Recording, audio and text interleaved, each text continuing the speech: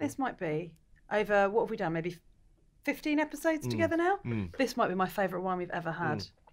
Big. It is Love that. really good. Well- It's so delicious. Should we do the Antiques Roadshow bit where you ask me how much it's worth? So I brought this wine in. I found it in the attic. Um, don't know whose it was, but how much is this worth then, Will? So, Will? Candice, if you were looking to uh, insure this wine, uh, you'd be looking at a market value of around £165 a bottle. We've just blown the budget in one Yeah. glass.